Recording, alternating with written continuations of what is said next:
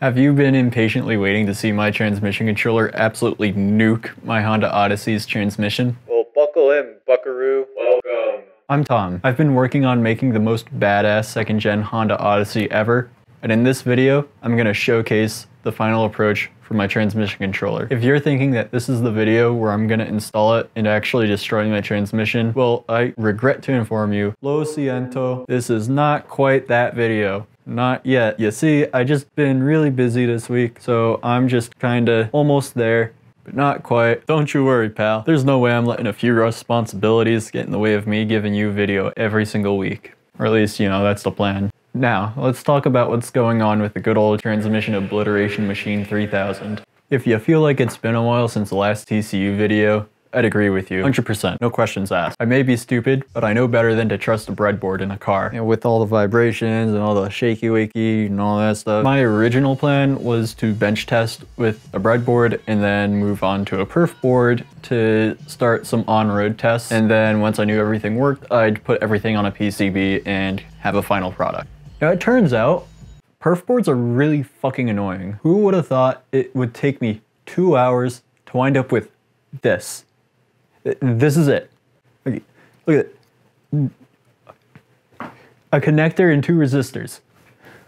Since that absolutely burned my biscuits to bits, I had no option but to move directly to the PCB stage. I quickly designed a PCB and sent it off for production. Now, now however, in classic comic style, I woke up the following morning and immediately realized it was like an epiphany I had. I forgot several resistors in the design and I was going to have to update the PCB and order a new batch. Now unfortunately, PCB production is not one of those things that can just happen overnight and have a finished product at your doorstep in a matter of days. In my case, it took about two weeks between ordering and receiving the PCBs, and that's part of why I haven't had an update for you guys on the transmission controller lately. So now that I've got the PCBs, I was able to get to work, which meant populating the PCBs and starting to print some stuff that related to the controller. And these extra parts I needed to print included a gear indicator, the shift lever itself. Well, okay, I didn't get all that done, but I'm still working on it, and the enclosure for the transmission controller. It actually took me four times to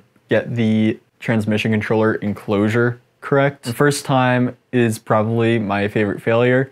I wound up with the USB port cutout on the side for the Arduino completely misplaced. I measured from the wrong standoff. Don't lie, we've all had some projects that took a little more work than we thought they were going to. That transmission controller enclosure is definitely one for me. I never thought a box would be so freaking difficult to get right. Let me know down in the comments what kind of projects you've had that kind of went the same way. Oh, and when I made the gear indicator, I got to use the pin crimper for the first time. I've never used one before, and I wasted several pins before I found out that it's a directional tool. I was using it the wrong direction, which was causing the crimper to be way too tight on the pins, and it basically severed the wire that was going into the pin. For some reason, these pins are really expensive compared to other ones. I mean, we're talking like almost a dollar a piece. I don't know why. If they were a lot cheaper, I would not be bothered by this at all. Now on the gear indicator, another thing I did was I made sure that the first gear and torque converter lockup LEDs were connected to the RX and TX pins of the Arduino. And what that allows for is essentially to use it as a diagnostic tool and see any activity that's going on while you're programming it or what have you. And to top it all off, I made it do a really neat little animation whenever it finishes booting, partly as a diagnostic tool just to see that it has finished booting, but also just because it's cool as hell.